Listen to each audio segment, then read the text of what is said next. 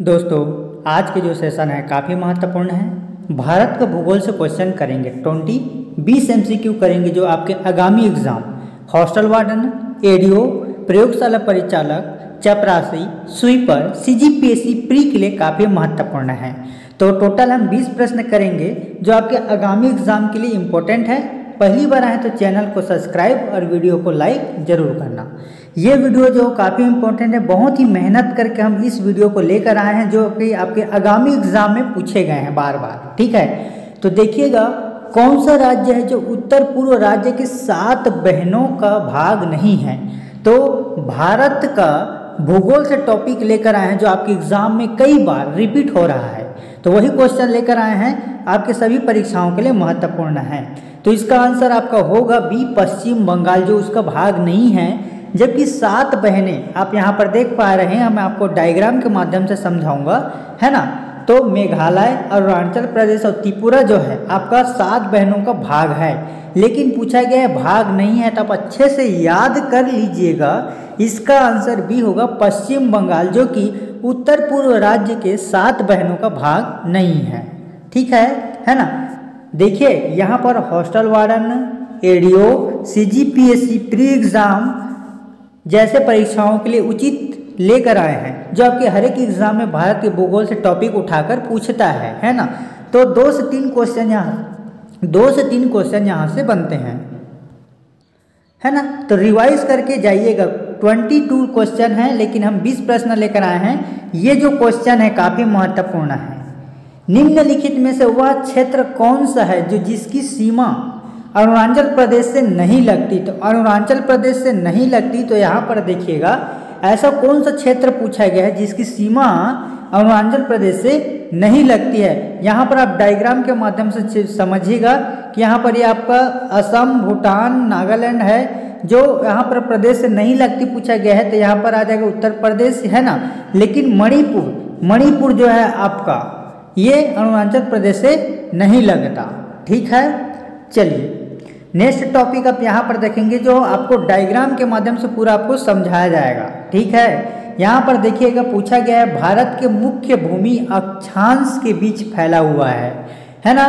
तो option A B C D कौन सा है? आप लोग कमेंट करके बताइएगा, अगर आपको मालूम है, अगर आप व्यापम पीएससी की तैयारी कर रहे हैं। ठीक है? इसका पीडीएफ इसका पीडीएफ आपको हमारे व्हाट्सएप ग्रुप पर मिल जाएगा, या फिर आप हमें मैसेज कर सकते हैं। ठीक है? सर, इसका पीडीएफ चाहिए करके हम आपको पीडीएफ दे देंगे, बल्कि व्हाट्सएप ग्रुप में ज्वाइन कर लीजिएगा, वहाँ पर आपको मिल जाएगा, है ना? वीडियो देखने के साथ साथ आप पीडीएफ भी पढ़ेंगे ना तो आपको नोट्स भी अच्छे से मालूम हो जाएगा, क्लियर हो जाएगा, है ना? तो देखिएगा, भारत की जो मुख्य भूमि है, इसका जो अक्षांश है, अक्षांशीय, अक्षांश और देशांतर जो पूछा जाता है तो यहाँ पर देखना जो अड़सठ है ना, यानी कि अड़सठ पॉइंट सेवन, और यहाँ पर दिया गया नाइन, यहाँ पर थ्री सेवन पॉइंट सिक्स जो उत्तरी है है ना, ये आपका मध्य हो जाएगा, ठीक है, ये आपका उत्तरी साउथ हो जाएगा, ठीक है। तो इसका अक्षांशी पूछा गया है तो अब आठ चार, यानी कि जो आप यहाँ पर दिया गया आठ पॉइंट फोर से छः तक तो ये आपका आंसर हो जाएगा। आपका सैंतीस पॉइंट सिक्स वाला दिख रहा है, ये वाला, ये पार्ट वाला ये यहाँ नीचे पार्ट वाला, ठीक है? अगर देशांतरी पूछा जाए, देशांतर तो आप बताएँगे देशांतर के लिए 68.7 और 97 ठीक है? ये वाला पार्ट। अगर इधर से पूछा जाएगा देशांतरीय तब बताएँगे 68.7 से आपका हो जाएगा 97 पॉइंट कुछ इधर है है ना? ये आपका देशांतरी के लिए हो जाएगा। चलिए नेक्स्ट टॉपिक है आपका पूर्व तटीय मैदान का एक अन्य नाम क्या है? तो जो पूर्व तट है आपका मैदान, उसका अन्य नाम क्या है? यहाँ से जो दिया गया है, पूर्व तट मैदान, है ना? इनका अन्य नाम क्या है? तो इसका अन्य नाम होगा आपका, दूसरा का सी कोरोमंडल, ऑप्शन सी। है ना? वीडियो आपको पसंद आता है तो वीडियो को लाइक ज़रूर करना अगर आप छत्तीसगढ़ की क्लासेस करना चाहते हैं तो हमारे चैनल पर डेली कराया जा रहा है ना? तो इस वीडियो में कम से कम 50 से अधिक लाइक आना चाहिए 50 से अधिक। सभी सभी वीडियो देख रहे हैं तो वीडियो को एक लाइक ज़रूर करना, ठीक है?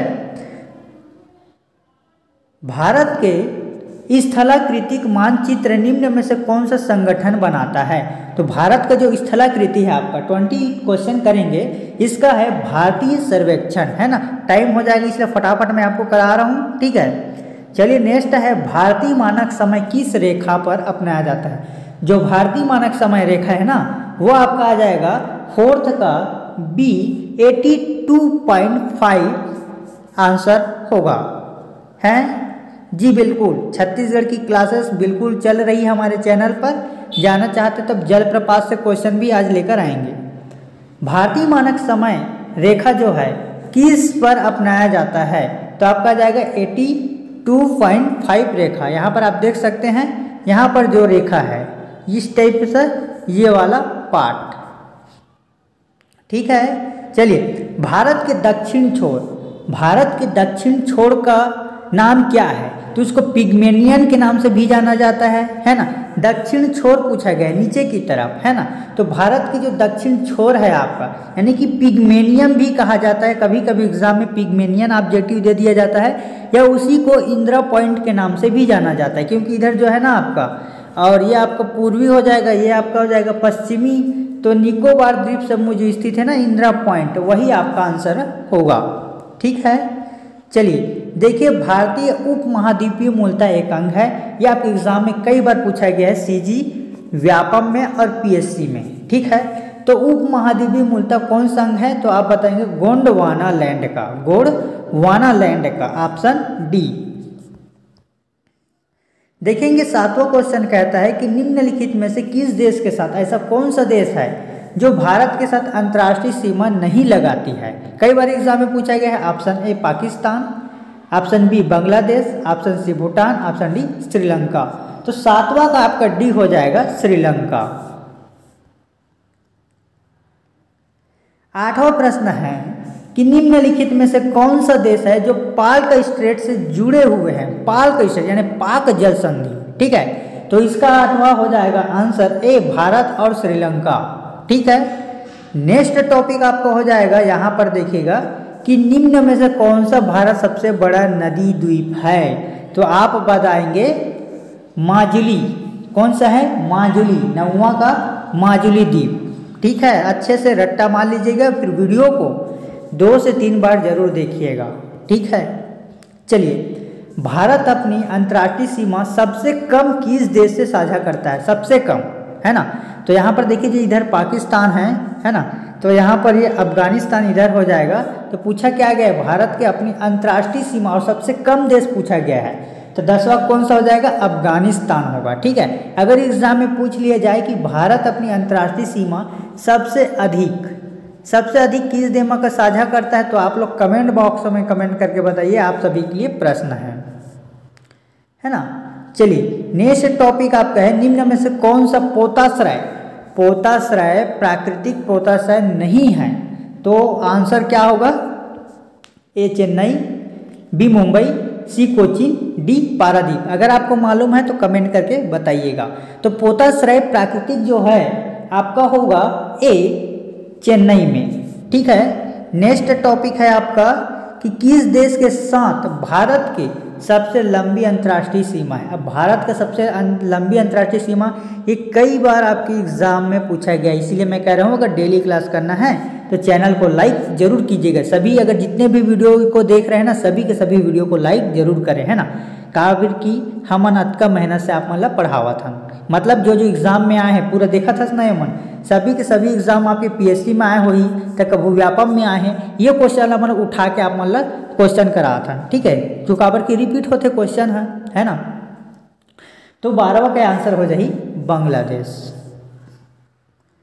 नेक्स्ट है, राज्यों के किस समूह के साथ नागालैंड की साझा समाए हैं? तो नागालैंड की जो साझा है ना, तेरह का वो आ जाएगा बी, अरुणाचल प्रदेश, असम और मणिपुर। इसके बाद राज्य समूह जिनके मणिपुर की सीमाएँ लगी हुई है तो चौदह का हो जाएगा आपका सी, नागालैंड, असम और मिजोरम। ठीक है? नेक्स्ट देखेंगे यहाँ पर क्या है। निम्नलिखित में से कौन सा राज्य नेपाल के साथ अपनी सीमा साझा नहीं करता? अब बोला गया है नेपाल के साथ, है ना? Option A Uttar Pradesh, option B Paschim Bangal, option C Bihar, option D Assam. तो आप लोग फटाफट कमेंट करके बताइए कौन सा ऑप्शन होगा, है ना? तब हम आपको आंसर बता रहे हैं। तो पंद्रह का आंसर डी होगा असम। कौन सा हो जाएगा? डी असम। नेक्स्ट है, भारत ने किस देश के साथ अपनी सीमा मानचित्रों की अदला बदला की थी? तो किसके साथ अदली बदली याद रखना? हमेशा कभी भी पूछा जाए ना, मानचित्र अपने भूगोल से भारत के अदली बदली कहीं भी सुनो, है ना? अदली बदली कहीं भी सुनो, फटाक से अब बांग्लादेश मार देना, फटाक से बांग्लादेश। बांग्लादेश अपनी सीमा किस भारतीय राज्य से साझा नहीं करता? कौन सा भारत राज्य साझा नहीं करता? असम, त्रिपुरा, झारखंड, मेघालय। तो इसका आंसर कौन सा हो जाएगा? सत्रह का answer C, Jharkhand. Next topic है आपका, निम्न में से कौन सा राज्य बांग्लादेश के साथ अपनी सीमा साझा नहीं करता। बांग्लादेश के साथ पूछा गया, बांग्लादेश के साथ। त्रिपुरा, मणिपुर, असम, मेघालय। तो इसका आंसर हो जाएगा आपका बी, मणिपुर। इसका आंसर बी होगा, है ना? चलिए, भारत और भूटान के बीच सीमा भारतीय राज्यों से लगती है। कौन से राज्य से? चार, दो, तीन और पाँच। भारत और भूटान के बीच की जो सीमा है आपका, भारतीय राज्यों से चार देशों से लगती है, चार देश। वो कौन कौन से हैं, आप लोग कमेंट करके बताइएगा, ठीक है? अगर सभी का आंसर मैं आपको दूँगा फिर आप लोग तो मज़ा ही मज़ा हो जाएगा फिर। चलिए लास्ट क्वेश्चन है, निम्न से कौन सा मिलान सही नहीं है, आप लोग कमेंट करके बताइएगा। दार्जिलिंग, पश्चिम बंगाल, माउंट आबू, राजस्थान कोडई कनाल तमिलनाडु, शिमला, उत्तर प्रदेश। क्या होगा इसका आंसर आप लोग कमेंट करके बताइएगा।